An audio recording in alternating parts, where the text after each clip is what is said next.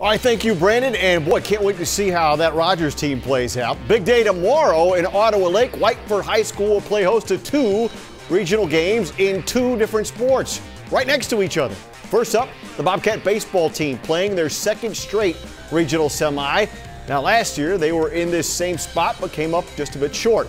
Number of guys who played on that team are back again, and that journey has proven to be a motivating factor in this current one. Uh, yeah, definitely. I feel like we're a little bit better this year uh, with the hitting lineup.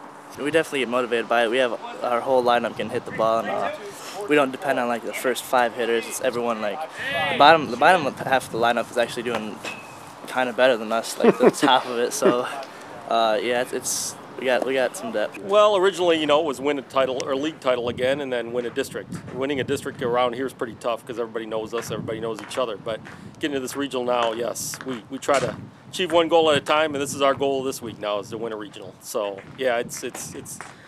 They've been talking state title all year, so that's what I like to hear. That we're we're thinking state title, we're thinking big, and but but keeping our goals in reach at the same time. What's it going to be like here for Whiteford schools this weekend? Oh, it's big. We get a lot of fan support here. Um, we've had we had a big crowd last week away, and I, I, I suspect that the crowd will be big again this week. Um, during the season, we get a big crowd, so I think with both of us competing for a regional title here. Um, I, I, think I expect a huge crowd here tomorrow, and I, they're always real supportive and uh, make a lot of noise for us.